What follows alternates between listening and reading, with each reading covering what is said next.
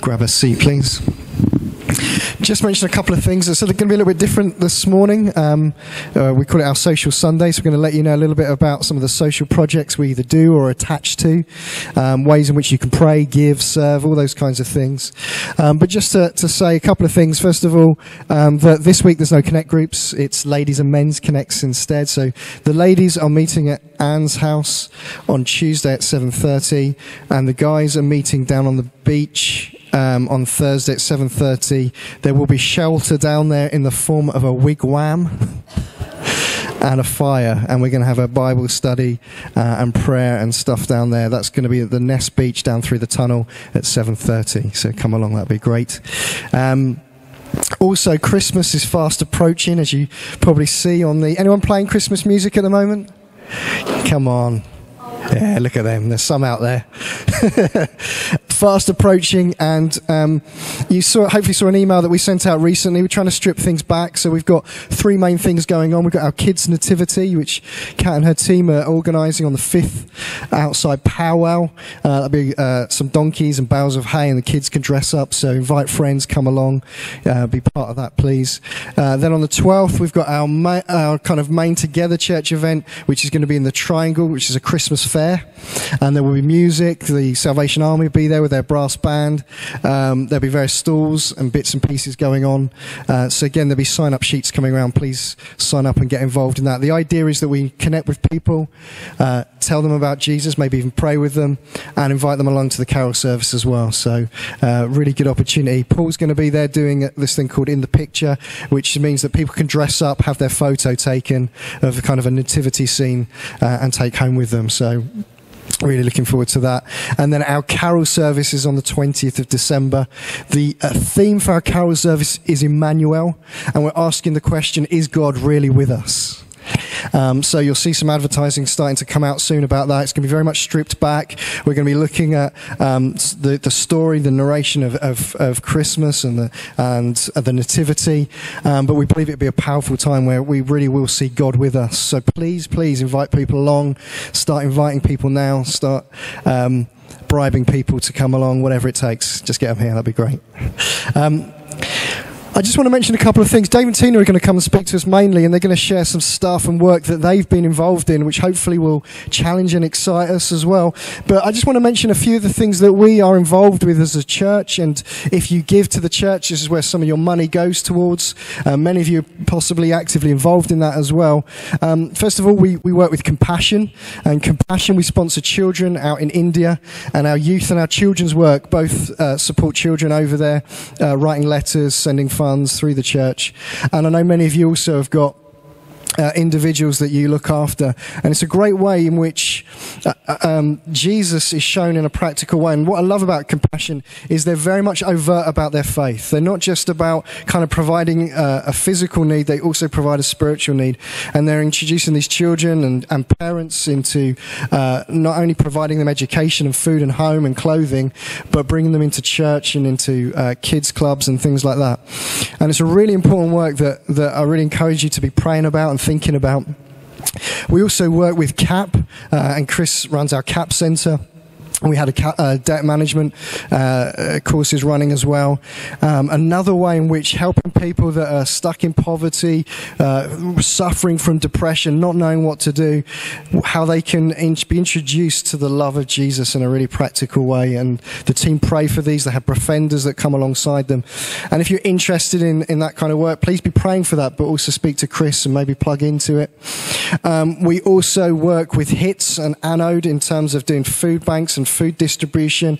Um, one of the things we put in our email recently, if you know people that could do with, say, a, a Christmas hamper or something like that over this time, please be speaking to us. And so we look at distributing food and goods to people uh, in need. Uh, another way in which, again, the, the, money that you give to the church and the way that you practically serve helps people. Um, obviously, we've got our cafe powwow, which is a, a frontline place. Lots of people come in there. Um, lots of people have opportunity to chat and talk things through and difficulties through. And we've also helped people out quite a lot we've heard of needs that people have had. And we we have a what we call an in need fund as a church, which is money that we put aside for uh, people within the church, but also with outside the church that might be in need, whether it's buying carpets, whether it's painting, whether it's providing uh, shopping, all those kinds of things. And again, just another way uh, in which we as a church help and serve people. Um, and the reason why we're trying to share some of this stuff today is so one that you know what is available, so that if you can think of people or need people that are, or meet people that are in, in need, that we can um, help them in the best way that we possibly can. Um, just uh, another thing that we are looking at very uh, uh, very recently, and Peter Stevens isn't here, is the men's shed. So I'm going to try and remember what Peter told me. But but um, men's shed is a new initiative that Peter's uh, getting up and running, which involves getting guys together and um, they find a shed or a garage or some kind of place where they can congregate, um, and it could be that we bring people bring tools there to um, to renovate. They might do some various bits of woodwork or engineering, and and there's two big ideas to it it's to try and get guys that feel isolated to connect. So it's a way of guys of connecting, but also it's a way of helping the community. So these guys then can go back and do DIY projects on people's homes. People can bring maybe bikes in or tools in that can get fixed. So it also has a way of, of helping with the, within the community. A few of the guys went to Brixham and Exeter recently and saw what they do. It's a, it's a national organisation called the Men's Shed, and the people that are part of it are called Shedders and because uh, they live in sheds, I don't know. But uh, but it, uh, but it's a phenomenal. If you get to hear it, speak to Peter about it. It's an amazing way of connecting people and helping the community. We're already affiliated to it. He already has a an email which I think is men's hyphen shed at mars hyphen hill.co.uk. Um, uh, we're looking for a shed or a, a lockup or a garage or a building that's uh, empty, and um, so that we can um, actually start working that. So again, yeah, Teignmouth based is what we're looking for, hopefully, for that. Um, I'm just checking that I haven't forgot anything else. We also do, um, um, Polly started something called Tree of Life, which is a way of distributing goods within the church as well. So you'll see that linked in our uh, newsletters. I want to play a quick video now because another charity in which we uh, work is Hope for Justice, which Karen does an amazing job at. And just a big plug to say they've got their clothes sale thing, whatever you call it. How do you, how do you call it? A clothes sale, re- reloved, pre-loved, pre-loved, reloved, pre-loved clothes at the Baptist Church in a couple of weeks' time. Come along to that, give money to it. This is why, because we're going to play a video now. The the, uh, the figure that kind of gets me every time is that they have found kids as young as one year old trafficked in this country. I mean, if that doesn't make you break inside, and I don't know what will. And you know, we're a church that isn't just about words, but we're a church that is about action. You know, we, we hear many times, we hear it talked about that we are to be, we are blessed by God so that we can bless this world. And we are sent on a mission to, to see the brokenness of this world restored. And we all can play a part in that, in the way that we give, in the way that we pray, in the way that we serve. And I want to encourage you this morning to be asking God, what is it that He's calling you to be and to do? Dave and Tina, if you can come up, they're going to share a little bit. They work a lot within these areas, and Dave and Tina are going to share a little bit about some of their experiences and some of the stuff that, that Tina's involved in at the moment. Um, hopefully, to uh, bring a reality to this again a bit more. I'm going to pray for these guys. Thank you for Dave and Tina. Thank you for their heart and for their love for you. Father, thank you, God, that you continue to use them powerfully and mightily in the work that they're in. I pray now that you would just give them the words that you want them to say to us and that we will have receptive hearts. In Jesus' name. Amen. Amen. Amen. Thank you. Uh, I'm just going to speak a couple of minutes about what I do, and then Tina will speak about the domestic violence work that she is so amazingly heading up. Um, we've both come an amazing long way from 1993, from when we got saved, to this point now where God is using us to be the part of solutions uh, for various broken people in this world. My job is uh, prevention of homelessness. In Teignbridge. So it covers uh, Teignmouth and all the surrounding areas from uh, Newton Abbot to uh, Ashburton out to here, Dawlish, Starcross. Okay, covers quite an area, and I visit many very messed up people. I, I deal with people who have got nowhere to live and help them find places to live. And at the same time, I try to rescue people's homes when they're in dire straits. And I just want to give you two examples of cases that I am running at this moment in time, just to give you an example of how, how people can land up in these situations and, and what could happen. Now, we're going to give them fictitious names one called Dave, and one's called Simon. Okay.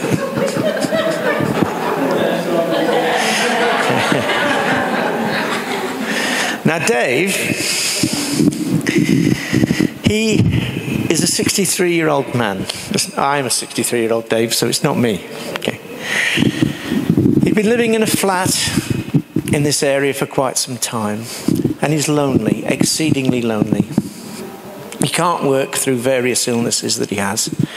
And he allowed some other people to come and live with him, to, well, to stay with him because they were homeless and they did what something we call cuckooed happened. Does anybody know what a cuckoo does? A cuckoo lays its eggs in another uh, bird's nest, kicks everything else out and makes it its home. Okay. Now this is what cuckooing does with people. They move into somebody's house and they make it their own, and almost kick the person out who's living there. It happens quite regularly. They're bullies. Okay, and they usually work on the uh, principle that these are nice, gentle, soft people, and this David is a very gentle, soft, frightened person. Uh, they moved in on him. They emptied his bank account. They stole his television. They stole everything that could possibly be moved.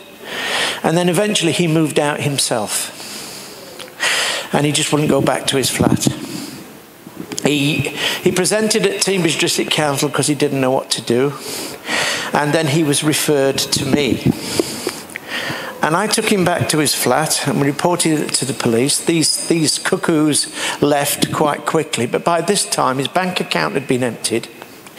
He was in a thousand pounds of rent arrears, and the landlord was knocking at his door to kick him out. Okay? And so I had to become then a, a liaison between him and his landlords, who were really quite angry about what happened because these cuckoos had annoyed the whole of the flats, okay, uh, by the noises that they were making, etc., etc., and they wanted him out. But I managed to liaise between them to say, look, could explain the situation. I said, please, can you give him some time? I said, we're going to try and work out on the finances of it all and see if we can get that sorted out. And, and we'll make sure that nobody else comes to visit this man, that he doesn't want to be here. And they gave him a month's trial. I've since managed to get all his rent repaid for him. Okay. Uh, he is now, he shakes all the time when he talks. He talks, uh, stutter, he's so frightened, okay? But we've restored his home, okay? That's the kind of thing we do. Now, another person, which is Simon, okay? He's an ex Navy boy. He did 19 years in the Navy. And he was in the Falklands and he saw and did some really, really horrific things. And he came out of there with PTSD um, which is yes. And he never got it sorted. It was quite a few years ago that he came out of the Navy, and he never really got it sorted. Uh, he had a little bit of sort of psychiatric help, but not a lot, and then he was just left to his own devices. His wife died, everything left, he left everything. He lost his home, he lost everything, he became homeless. And he's been homeless now for many years. And then we found him one day as we're on the streets, and he's there. We took him into uh, Teignbridge District Council, which is always our first port of call. And they took a duty of care for him because he has got local connections here. And they put him into a bed and breakfast. And in that bed and breakfast, I went to see him. And you know, I think I must have been one of the first kind people that he thought he'd meet met. And I couldn't barely take any details for him for his tears. He was just shaking and crying with tears. He said, Nobody's ever cared. Nobody's ever cared. Okay, I said, Look, I care. All right, let's get down to brass tacks. Tell me your story. He told me his story. Okay, and he was in this bed and breakfast, and so I phone up SSAFA, which is the uh, services. Um, uh, it's, it's, a body that helps ex-servicemen, okay? And they're in the process of going to come to him. Now, I've used them before for various people. They will find him a deposit for a flat, They'll get him the furniture for a flat. They will bring him combat stress, okay, which then he can get help with, with, with all that and get all the psychiatric help. They will also get him involved in his peer group uh, people and friends of people that he can get to mix with to help deal with his loneliness, okay?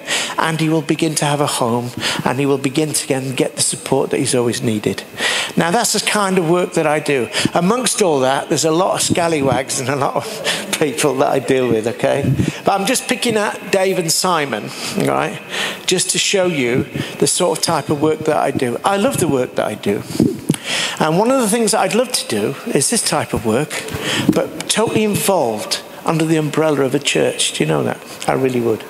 But that's, that's the kind of work I do. And I'm going to hand you over now to Mrs. Cross, and she's got a great story to tell you about what she does. Thank you.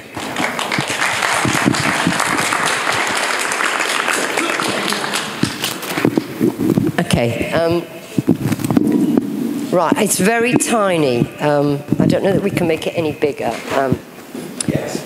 Okay. What I'd like you to do really is just close your eyes for a minute.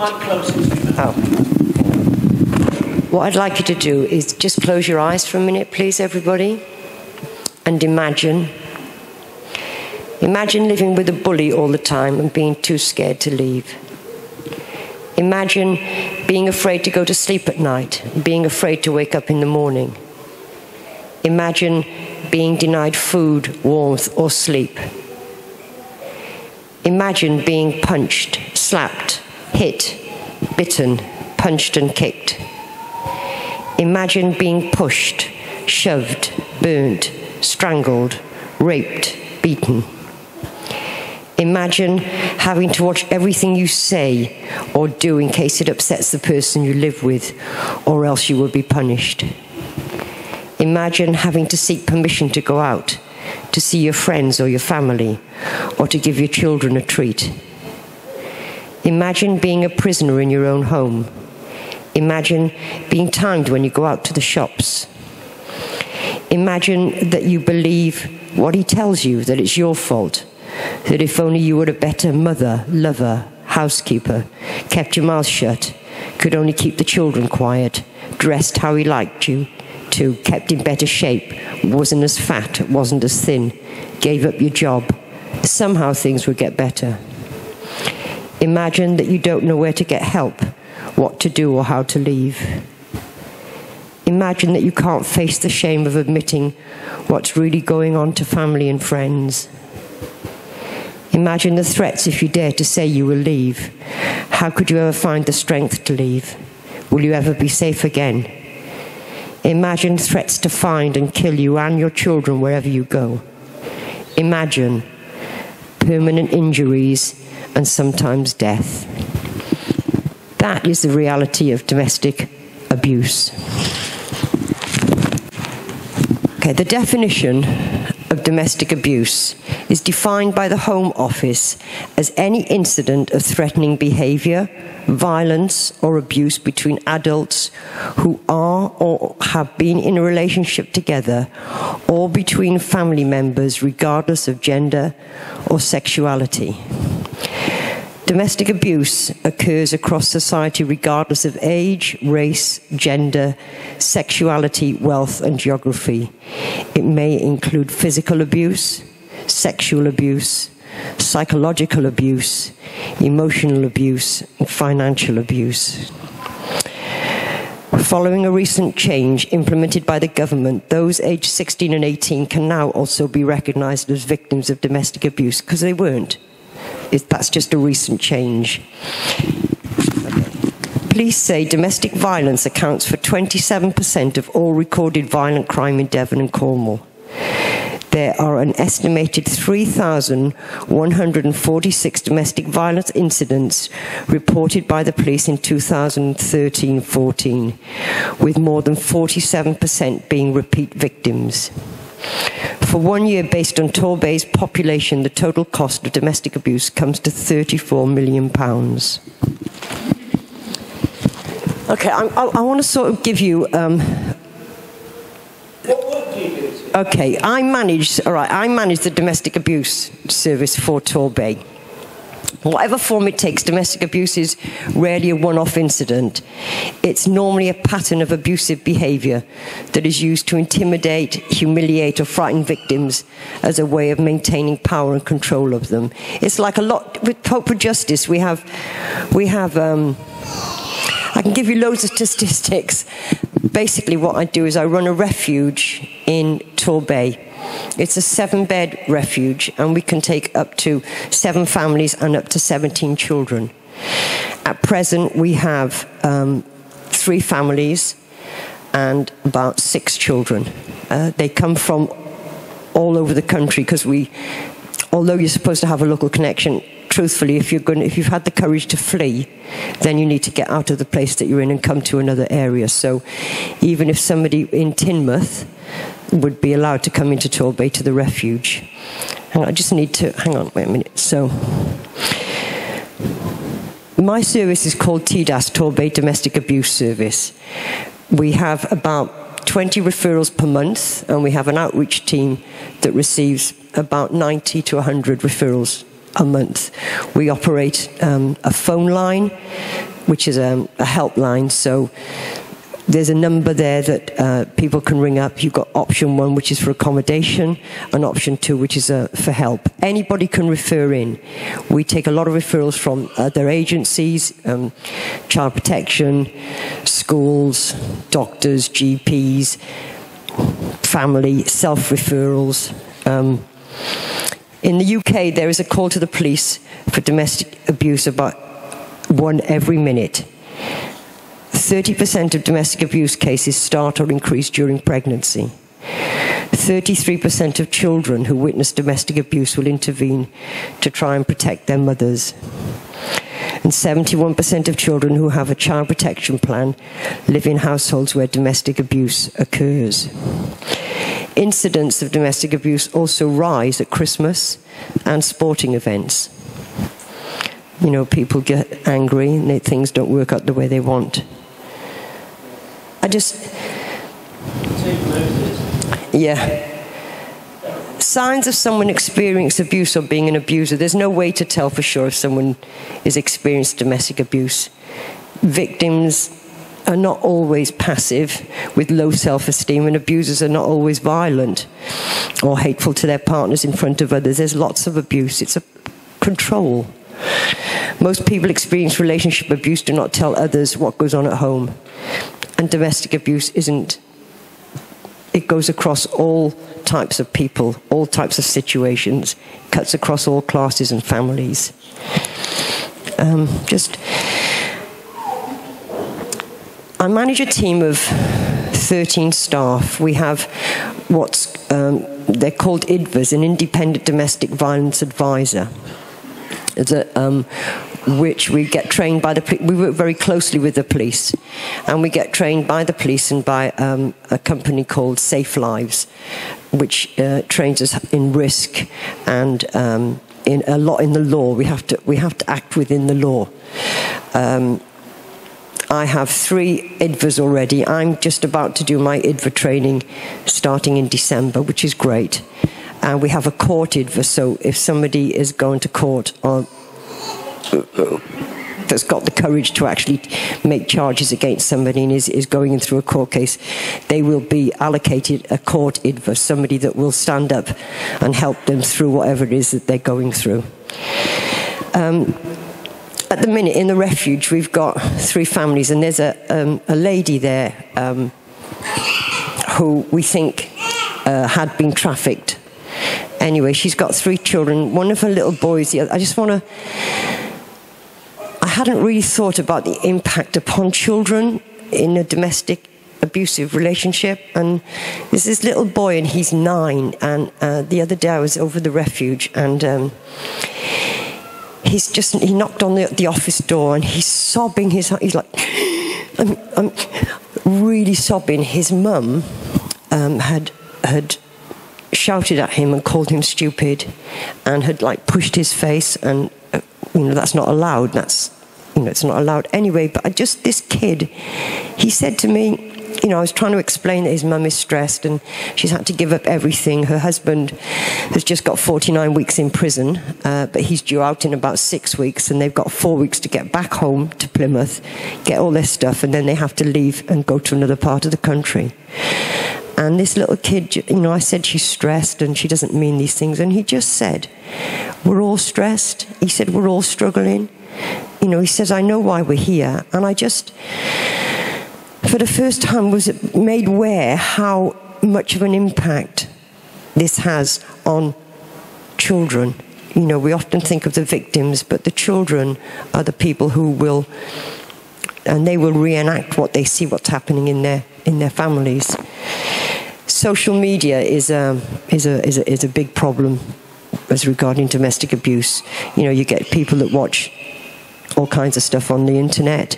And although it can be good, you don't know. You get stalking, you get people that will um, bully people, that will offer them all kinds of different things. And it's just, you know, although the internet is good, we have to um, be careful because the victims of domestic abuse can be traced through the internet. You know, you can Google somebody, you can find out. The refuge is a secret address. We have, um, okay we have five safe houses in the community. Uh, they're owned by Sanctuary Housing, and we carry out all the housing maintenance and everything. We provide support, we provide CCTV camera, um, and they can stay there for about eight to ten weeks and then we have to find somewhere else for them to live. It's about constantly moving them around, so it's always secret addresses. We get. Um, on a, on a, daily basis, we receive uh, referrals from the police that we have to contact within 48 hours because there's different levels of risk. So you get high risk, medium risk, and low risk. And we offer advice to people over the phone, um, give them an assessment if they want to come in and receive um, support or they just want a bit of advice or they need to move out or they need to make plans to move. And it, it's quite a long process to plan somebody to move out of an abusive relationship because um, there's statistics that show that there have been uh, quite a few deaths when people have made that decision to actually leave. It's quite scary because this is happening down the road. this is happening all over the place. Um, yeah.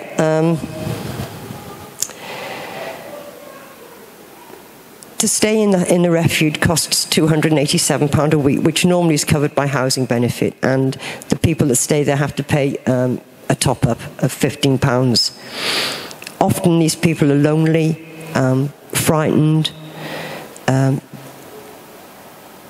have learned ways of coping and learning how to live with life. And I just feel that, you know, the church has the answer, Christ has the answer to all of these things, and it's just about I'd like people to just be aware just just be aware of people that you know you know. Look out for things. Next week is uh, national domestic abuse awareness week and we're aiming it's being focused certainly in this area on younger children because um, to know about what a right relationship is you know. And I always get asked these questions. It's because we're a godless society. That's why things have gone so wrong so um, I just believe that as a Christian, as, as somebody who's born again and has been loved by Christ, that we need to just look out for our neighbours, just look out for our, our neighbours and share the love of Christ because we are the answer. You know, the church is the answer. We should be doing all of this stuff um, rather than leaving it up to people that don't have the answer. You know, we can, my company can help keep the problem there, but they don't have the answer. So um, if somebody comes to you, listen to them. Take the person seriously and believe what they say. Be calm and positive. Um, give them time to discuss their feelings. Next week, I'm going to bring some um, materials that have got phone numbers on, and we've got things with like little barcodes that you can. If you think, you know, like when you give out the food at Christmas, you know, like on some of the tins, you can just stick a barcode on there. It's got a phone number on there. Um, Yes, domestic violence number. So anybody would ring these numbers and then would be put in touch with the people that they need to be put in touch with. Um, don't put yourself in danger. Really watch what you're doing and get involved with people. um, I just want to read you a quote from a 1960s Good Housekeeping magazine. Before your husband comes home, oh, sorry, it's not just about women. You know, we've got, um, we've got, I think, 60 male sufferers of domestic abuse, especially with different sorts of relationships that are happening now, and you have mixed relationships, and anybody is open to be abused. But this quote from Good Housekeeping before your husband, wife comes home, brush your hair, put a ribbon in, tidy the home, have his tea ready, and put on some lipstick, a smile, and a clean penny. Don't bother him with your day. He has had a busy day, and his day is more important than yours. Don't ask questions if he is late or stays out all night. But things have moved on from here, um, which is great. Yeah, I mean, that's how it used to be. But the police, especially in Torbay, are very good. They have a, um, a specialized, dedicated domestic abuse team. And we, we work with them on a day to day basis. Um, I don't know what else to say apart from. Eh? Oh, yeah, if anybody, if anybody knows of anybody or has any concerns about anybody that is experiencing or been a victim of domestic abuse, please come and see us afterwards and we'll either get somebody to pray with you and, and have a talk. Okay? Thanks, Tina. Give Tina a round of applause. Thank you for that. Again, just gives us a bit of a flavour, that's all right, of what's going on. Um, as I said, I want us to be a church that doesn't just kind of think these are good ideas, but that we are actively involved in these things. Um, we're already thinking and praying about different ways, as you've already heard, as what we're already linked in with as a church, but other ways in which we can expand this. And just want to read something from the Bible that will that kind of puts this all together, and then we're going to go into a time of prayer and worship. And it says this: When the Son of Man comes in His glory, and all the angels with Him, then He will sit on His glorious throne. Before Him will be gathered all the nations, and He will separate people one from another, as a shepherd separates the sheep from the goats. And He will place the sheep on His right but the goats on the left. Then the king will say to those on his right, Come, you who are blessed by my Father, inherit the kingdom prepared for you from the foundation of the world. For I was hungry and you gave me food. I was thirsty and you gave me drink. I was a stranger and you welcomed me. I was naked and you clothed me. I was sick and you visited me. I was in prison and you came to me. Then the righteous will answer him, saying, Lord, when did we see you hungry and feed you or thirsty and give you a drink? And when did we see you a stranger and welcome you, or naked and clothe you? And when did we see you sick or in prison and visit you? And the king will answer him, them, and tru- uh, saying, Truly I say to you, as you did it to one of the least of these, my brothers, you did it to me. Then he will say to those on the left, Depart from me, you cursed, into the eternal fire, prepared for the devil and his angels. For I was hungry, and you gave me no food. I was thirsty, and you gave me no drink. I was a stranger, and you did not welcome me. Naked, and you did not clothe me. Sick, and in prison, and you did not visit me. Then they also will answer, saying, Lord, when did we see you hungry or thirsty or a stranger or naked or sick or in prison and did not minister to you? Then he will answer them, saying, Truly I say to you, as you did not do it to one of the least of these, you did not do it to me. And these will go away into the eternal punishment by the righteous, by the righteous into eternal life. Really sobering words from Jesus about not just being what we talk about hearers, but doers of the word. So let's, I'm going to invite the band to come up. We can just stand where we are. And I think it would just be great for us just to take a moment and pray into some of these things. Think about the way in which uh, we as a church are trying to connect with those that are on the edges of society, those that are struggling.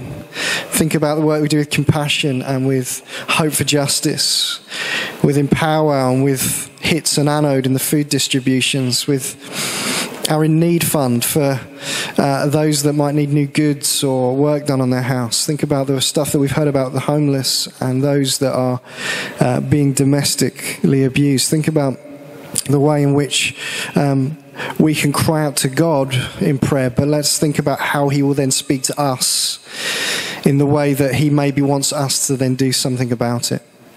So as we pray, may our prayers be two way. May it be prayers in asking God to work through us, but also us listening to what He's talking to us about.